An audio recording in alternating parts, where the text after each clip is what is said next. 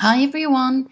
In this video, I'll show you how to import and export templates from one website to another. Keep in mind that both have to be powered by Visual Composer. The first step is to download the Import-Export add-on from the Visual Composer Hub.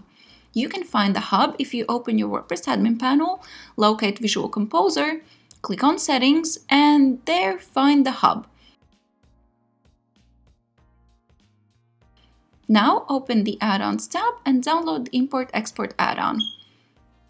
You can also do it from any page in the front-end editor. When that's done, you can choose what to export. You can export any of your templates. To find them, locate the Theme Builder section here in the Visual Composer dashboard to export any header, footer, or sidebar. If we take headers as an example, you'll see all of your created headers in this list and can export them by clicking on Export.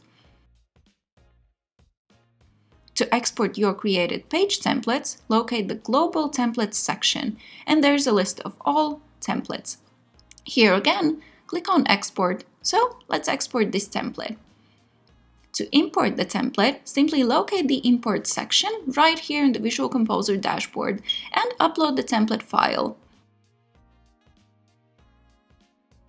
Now it will be added to your list of templates.